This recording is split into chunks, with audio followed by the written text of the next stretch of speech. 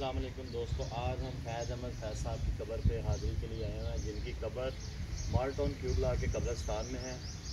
फैज़ अहमद फैज़ साहब 13 फरवरी 1911 को Narowal, Sialkot district Punjab, British India में पैदा हुए और आप शायरी के साथ साथ आपने अपनी जो है आर्मी में भी ड्यूटी सर अंजाम दी।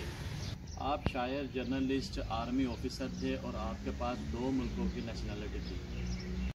1911 से लेके उन्नीस तक आपके पास ब्रिटिश इंडिया की नेशनलिटी थी और उन्नीस से लेके उन्नीस तक आपके पास पाकिस्तान की नेशनलिटी थी। अहमद फैज़ साहब के दो बच्चे थे, जिनका नाम सलीमा और मुनीज़ा था। उन्नीस में आपको निगर अवार्ड दिया गया और उन्नीस में आपको लिलन पीस अवार्ड मिला और 1990 में आपको तमगा इम्तियाज़ से नवाजा गया। आपने बहुत सी किताबें लिखी जिनमें सुबह आज़ादी, नक्शे फरियादी जैसी बुक्स शामिल हैं। फैज़ अहमद फैज़ साहब ने तिहत्तर साल की उम्र पाई 20 नवंबर उन्नीस को। आप दुनिया फ़ानी को छोड़कर हकीकी खुदा से जा मिले